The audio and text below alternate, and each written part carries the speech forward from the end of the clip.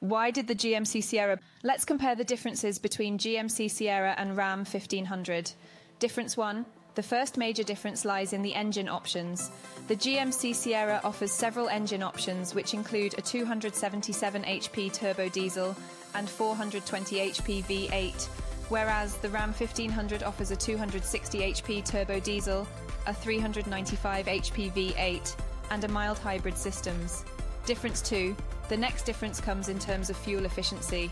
The Ram 1500 is known for better fuel efficiency. The diesel variant of Ram 1500 offers about 32 miles per hour on highways, while GMC Sierra's diesel variant offers about 30 miles per hour on highways. Difference 3. When it comes to towing capacity, the GMC Sierra offers an upper hand. The Sierra can tow up to 12,100 pounds. In contrast, the Ram 1500 can tow up to 12,750 pounds. Difference 4. In terms of interior, the Ram 1500 is known to have an edge over the Sierra. The Ram 1500 offers a more luxurious interior with high quality materials and a well designed layout. Difference 5. The GMC Sierra comes with a traction select system that includes a mode for off roading, while the Ram 1500 does not have this feature. This allows for better handling on the Sierra when driving in different conditions. Difference 6. Pricing varies between the two, with the GMC Sierra generally being more expensive than the Ram 1500. This can vary depending on the specific model and features, but in general, the Sierra is known to be more pricey. Difference 7.